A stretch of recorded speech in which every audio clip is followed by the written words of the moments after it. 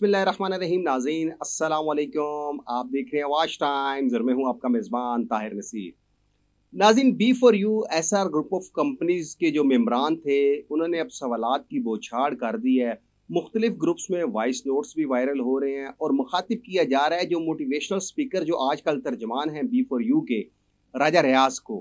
क्योंकि राजा रियाज ने उसके रिबटल में वीडियो बनाई, वो भी मैं आपको बताऊँगा कि वीडियो में वो क्या दावा कर रहे हैं। पहले वो क्या दावा करते थे और इसके बाद जो वॉइस नोट्स हैं, मुख्तलिफ़ ग्रुप्स में वायरल हो रहे हैं और मम्बरान जो गरीब मम्बरान है सादा लो पाकिस्तानी अवाम है, शीशे में उतारने का ये नुसरबाज फ़न जानते हैं। उन्होंने लूट तो लिया। फिर आपको मालूम है कि बी फॉर यू या एस आर के जो सी ई ओ सैफुररहमान खान न्याजी हैं, वो दावा करते थे कि तीस से बत्तीस ममालिक में उनके रजिस्टर्ड कारोबार हैं। वो दावा करते थे साठ परसेंट उनकी क्रिप्टो करेंसी में कारोबार है। वो और भी कई दावा करते थे कि पाँच सौ एकड़ उनकी ज़मीन है। लेकिन वो जो कारोबार है, या कोमिड बस सर्विस है, या ब्रावो सुपर स्टोर है, और या रिवॉल्ट बाइक है, दीगर जो मंसूबे वो दावा करते थे, उनकी रकम कहाँ पे जा रही है? ये सवाल सबसे अहम है कि जो इतने बड़े दावे करते थे, लेकिन कहीं पे भी मम्बरान को विड्रॉल नहीं मिल रहा। आपके बैंक अकाउंट्स फ्रीज हुए हैं, लेकिन आपके जो कारोबार थे वो तो फ्रीज नहीं हुए। उनकी जो अर्निंग है डेली बेसिस वो कहाँ पे जा रही है? आप सिर्फ़ अयाशियाँ कर रहे हैं के का टाइटल खरीद रहे हैं, आप पार्टियाँ कर रहे हैं, लेकिन आप मम्बरान को पैसे नहीं दे रहे। आप दावा करते हैं कि आपको पाकिस्तानी अवाम की कदर है, लेकिन आपने आज तक गुज्त आठ माह से आपने किसी मेंबर को विड्रॉल नहीं दिया। पचास डॉलर का विड्रॉल दे दिया ताकि मम्बरान खामोश हो जाए, लेकिन जो दरखास्तें हैं नैब में, वो बहुत ज़्यादा दायर होना शुरू हो चुकी है। अब तो मम्बरान जो सवाल कर रहे हैं, आपको एक वॉइस नोट सुनाता हूँ, एक मेंबर का, ज़रा वो सुनिए कि वो राजा रियाज को मुखातिब करके क्या कह रहे हैं? अस्सलाम वालेकुम राजा रियाज साहब, आपके पास शायद वक्त नहीं है, लेकिन जब भी थोड़ा सा वक्त मिले तो इस हकीर का मैसेज पूरा सुन लें। मैं कुछ बातें अर्ज़ करना चाहता हूँ। आप लोग रोज़ जो है ना गुड न्यूज़ देते हैं, रोज़ सफाइयाँ देते हैं। कुछ बातें जो है ना सी साहब ने की होती है, वो कहते हैं, कुछ नहीं की होती, वो भी कह देते हैं।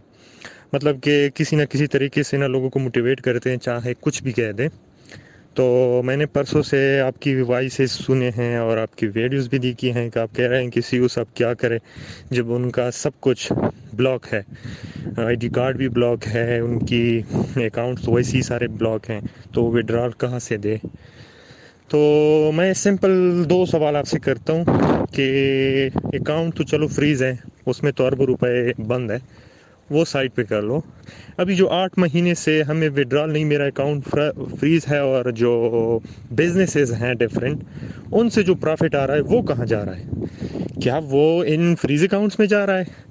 और अगर वो आप लोग इसी फ्रीज अकाउंट्स में डाल रहे हैं तो इसका मतलब है कि ये तो समझ से बाहर है मतलब कि फ्रीज अकाउंट्स में नया प्रॉफिट भी वही डाल रहे हैं। और अगर नहीं डाल रहे हैं वहाँ पे तो फिर ये प्रॉफिट कहाँ जाता है? हमें क्यों नहीं मिल रहा? हमें सिर्फ़ वेबसाइट पे शो किया जाता है कि आज आपको इतना प्रॉफिट आया है। बाकी ये प्रॉफिट कहाँ जाता है? ये पैसे कहाँ जा रहे हैं? हमें वहाँ से विड्रॉल क्यों नहीं मिलता? आठ महीने हो गए। हर महीने का जो है ना, नया प्रॉफिट आता है। वहाँ से हमें प्रॉफिट का विड्रॉल क्यों नहीं मिलता? बैंक्स, चलो, फ्रीज हैं। बैंक के ज़रिए नहीं दे सकते। नए अकाउंट भी फ्रीज हो जाएँगे अगर देंगे। आप लोग नट में भी दे सकते थे।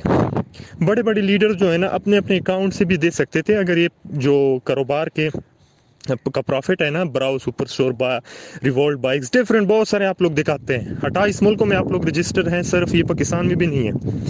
तो वो प्रॉफिट कहाँ जा रहा है, वो हमें, वहाँ से हमें विड्रॉल क्यों नहीं मिल रहा? वहाँ से भी तो दे सकते थे ना। डिफरेंट लीडर्स के ज़रिए छोटे छोटे मेंबर्स तक पहुँचा सकते थे। लेकिन यहाँ पे तो हमें साफ़ इनकार नज़र आ रहा है। आप लोग कितना लोगों को बेवकूफ़ बनाएँगे? अकाउंट फ्रीज है अकाउंट फ्रीज है। भाई लोग कितना कितना आप लोगों की बातों में आएँगे? और ये कि आप लोग तो पहले कहते थे हमारा 60 परसेंट बिज़नेस जो है वो मलेशिया में क्रिप्टो में है। वो बिज़नेस कहाँ गया? कोई उसका नाम ही नहीं लेता। मैं बार बार मेंशन करता हूँ डिफरेंट लीडर से। कोई उसका नाम ही नहीं लेता कि वहाँ भी कोई बिज़नेस था, वहाँ भी, वहाँ से भी कोई प्रॉफिट आना था। और कहा जाता था कि हम पाँच साल तक अगर पाकिस्तान में सब कुछ बंद भी हो जाए तो हम पाँच साल तक ऐसे ही लोगों को विड्रा दे सकते वो बात कहाँ गई अब? कहाँ गई? क्रिप्टो में पर भी नेप का क्या कब्जा है अब? नेप क्या है ये? कोई क्या बताते हैं आप लोग? नेप ने हर चीज़ पे कब्जा किया हुआ है। क्रिप्टो पर तो कब्जा नहीं किया गया, वो तो सिक्सटी परसेंट है, वो तो इन सारे बिज़नेस से ज़्यादा था। खुद ही ये आपके जो स्पोक पर्सन है, वही बताते थे। और आप जो है ना, रोज़ इन चीज़ों की जो है ना, हमें जस्टिफिकेशन देते हैं, लेकिन मेरा एक सिंपल सवाल आज आपसे है कि जो प्रॉफिट है, एक तो क्रिप्टो का प्रॉफिट कहाँ जाता है? वहाँ से हमें विड्रॉल क्यों नहीं मिलता? चाहे यू में हो, चाहे नकद में हो, किसी चीज़ में भी हो, लेकिन दे सकते हैं। नेप का उन पर कोई कब्जा नहीं। दूसरा यही कि नेप का इन पर तो कब्जा नहीं है ना कि रिवॉल्ड बाइक्स और प्राउड सुपर स्टोर से जो प्रॉफिट आता है, उन पर भी कब्जा है कि नहीं, वो फ्रीज अकाउंट में भी जाएगा। तो हमें वो प्रॉफिट क्यों नहीं दिया जा रहा? हम नहीं मांगते वो जो फ्रीज अकाउंट है, वहाँ से नहीं मांगते, लेकिन आठ महीने हो गए। हर महीने आप लोग दे सकते थे, अगर प्रॉफिट देना होता। और हमें प्रॉफिट ही चाहिए ना। हमें एक्स्ट्रा तो कुछ नहीं चाहिए और प्रॉफिट तो मंथली आ रहा है। तो वो प्रॉफिट हमें दिया क्यों नहीं जा रहा? ये बैंक का बहाना ही क्यों किया जा रहा है? आप लोग कहीं सयारों पे तो नहीं है कि सिर्फ़ बैंक से ही विड्रॉल जो है पॉसिबल है। विड्रॉल क्यों नहीं दिया जाता? सर मेरा सिंपल सवाल है। हम गरीब लोग हैं। हमने इतनी इन्वेस्टमेंट की है, लोगों को भी बुलाया है। आप लोग सिर्फ़ नेटवर्किंग की बात करते हैं नेटवर्किंग नेटवर्किंग सच कहूँ तो ये अभी तक जितना विड्रॉल मिला है, यही सिर्फ़ नेटवर्किंग पर मिला है। पैसों के ऊपर मिला है। लोग दूसरे लोगों को ला कर ही हमें विड्रॉल मिला है। बैंक से तो पहले भी कभी विड्रॉल मिला नहीं था। लेकिन अब ये लोगों को अभी समझ में आया कि असल चीज़ तो बैंक है बैंक नहीं है तो मतलब यहाँ पे कुछ है ही नहीं। तो बर मेहरबानी, मुझे ये दो सवाल का जवाब दे दे। खुदा का वास्ता मुझे दो सवाल का जवाब दे दे। कुछ कर ले, खुदा का वास्ता, अल्लाह का वास्ता आपको। मुसलमान है सब ना, अल्लाह का वास्ता। प्रॉफिट मिल रहा है तो हमें क्यों नहीं मिल रहा? क्या रिवॉल्ट बाइक्स बंद है? ब्राउज सुपर स्टोर बंद है? डिफरेंट प्रॉपर्टीज़ के कारोबार बंद है? अट्ठाईस से ज़्यादा बल्कि तीस बत्तीस कारोबार आप लोग बताते थे, वो उनका प्रॉफिट कहाँ जा रहा है? नया पैसा उनका कहाँ जा रहा है? मुझे सिर्फ़ यही जवाब दे दे।